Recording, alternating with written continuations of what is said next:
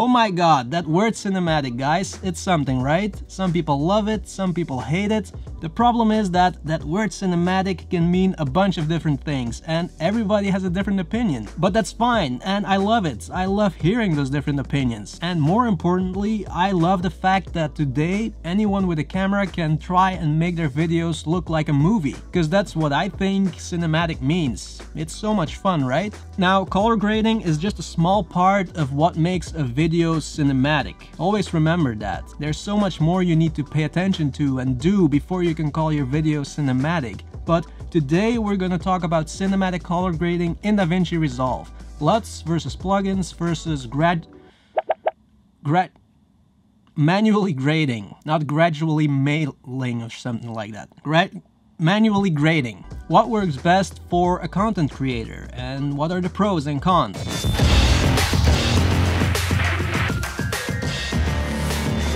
But before we jump into it guys, thank you all for being here again, thanks for watching, thanks for the support, it's awesome, and if it's your first time here, maybe consider subscribing too, because I got a lot more content coming, so there you go. Since the beginning of this year, I've also been trying to make my videos feel cinematic, and that's the key here. Not necessarily look cinematic, but feel cinematic, because just throwing on a cinematic LUT won't do much if your footage isn't good in the first place. Light, story, composition, you know it by now, right? I keep repeating myself, but it's important. Light, composition, story. Of course, that doesn't mean that color grading isn't important, because it is. It's what people see in the first seconds before they even know what your video is about. Out and I've been playing around with color grading in DaVinci Resolve a lot. And I've also learned a lot. One of the important things I've learned is that 8-bit footage, like out of my Canon M50, is really difficult to color grade even if you use a flat color profile. It's possible, but it's really difficult. You really have to be careful not to mess up your footage. I've messed it up quite a few times, but hey, I've learned something every time I messed up, so it's okay. Another thing I've learned is that we all have different expectations, and we're all different. Making videos for YouTube is totally different from making client videos or a short film. And that's why I want to talk about these different color grading techniques, LUTs, manual grading, and plugins. Because none of these techniques are bad, they're just different and I have a favorite because of what kind of filmmaker I am, content creator. Let's be honest, this is the best way to do it, but there's a problem. It's difficult and it takes a long time to learn. You can easily learn the basics in a few weeks, but if you want to color grade like a pro, it's gonna take a long, long time. That's also why it's a separate profession. When they make a movie in Hollywood, it's not the editor who does the color grading, they have a colorist for that. But here on YouTube, we have to do it all ourselves. Now, if you want to learn color grading, DaVinci Resolve is great. It's used by a ton of professionals, so you're good with DaVinci if you want to learn it. The results will be incredible if you do it right.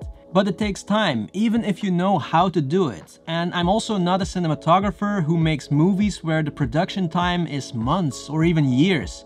I put out content a few times a week. That's what I do. That's what I like to do. But that means that I don't have the time to color grade manually. I can make my log footage look natural now. That's something I can do manually. You know, make it look like the standard profile of your camera. But to create a look, a cinematic look or a creative look that also looks good, that's just not possible three times a week with all kinds of different footage. So even though in between I try to learn how to do it manually because I do think it's the best way, it's just not possible for me as a content creator.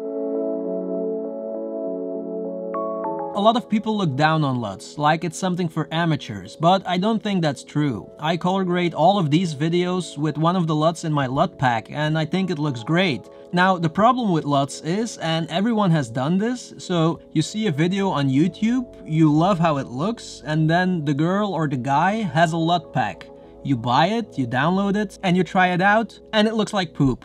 That's normal because everyone that creates LUTs creates them for their camera. And colors are different in every camera, especially skin tones. Canon, Fuji, Sony, all looks different. So if you want to buy LUTs, which is totally fine, I've bought LUTs plenty of times from other YouTubers to support them, but also because I like the look. But never have I bought a LUT that I could throw on and it looks good. You always have to tweak it a little bit, so if you want to buy my LUTs, which I would appreciate of course, the best way to use them is to drop them on your footage and then dial it down to 10 or 20%, something like that, and go from there. Then increase it step by step until it looks what you want it to look like, until you like what you see. And also don't stick with what the LUT does. Sometimes you have to increase the contrast manually a little bit. Play around a little bit with the curves, you know? So that's what you always have to remember to avoid disappointment. And then when you've tweaked the LUT to your liking, save that look as a new LUT because that's gonna be your LUT that works on your footage. You know what I mean? And finally, I also like to use LUTs on the same type of footage, when I know that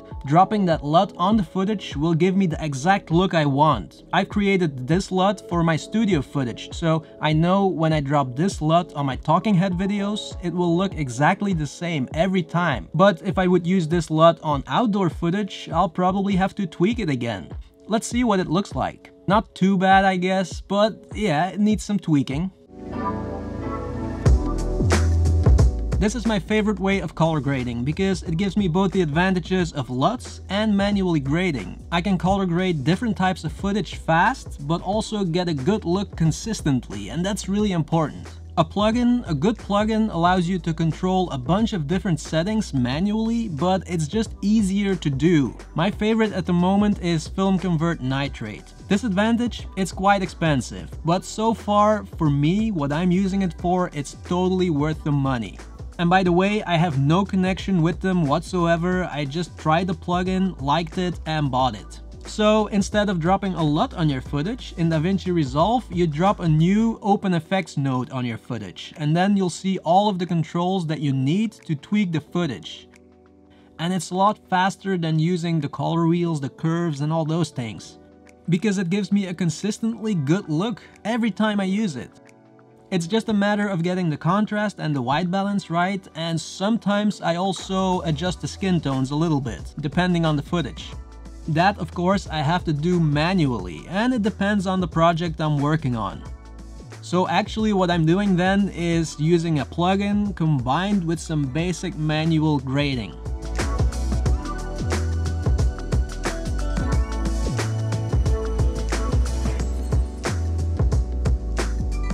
It just works for me and it's an easy way to get a nice cinematic look fast. Of course, I don't know what cinematic means for you, so maybe this is not it. Like I've said, that word cinematic means something different for everyone, but that's also the fun of it. Make sure to always first pay attention to light, story, composition, those things. Color grading is just a layer that comes on top of all that. Okay, so I hope you've enjoyed this video, I hope you've learned something. If you have, give this video a thumbs up, subscribe if you haven't already. Thank you so much for watching and see you in the next one.